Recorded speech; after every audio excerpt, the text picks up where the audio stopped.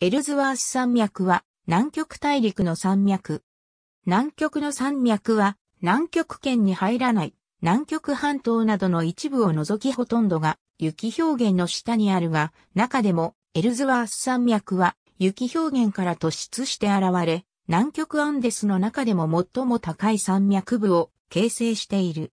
南極半島の付け根にあたるエルスワースランドとウェッデル海岸のエディスロンネランドに位置し、長さは 260km、幅は 24km で連なっている。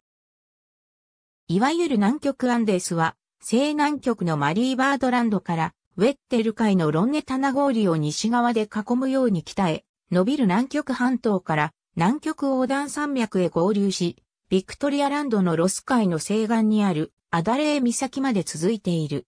地質学的には、新規作り山帯であるアンデス山脈が南極大陸まで伸びた延長部とみなされ、環太平洋火山帯の最も南部の湖を形成する。なお、南極横断山脈は、ウェッテル海を東側で囲むように、コーツランドへ伸びる。ミネソタ氷河を境にして、この山脈を南北に分けている。氷河の南をヘリテージ山脈、北をセンチネル山脈と呼ぶ。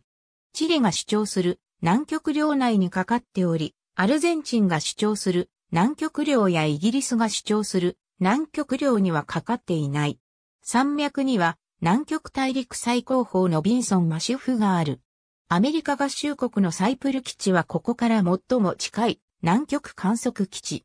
1935年にリンカーン・エルズワースの南極大陸横断飛行中に発見された。ありがとうございます。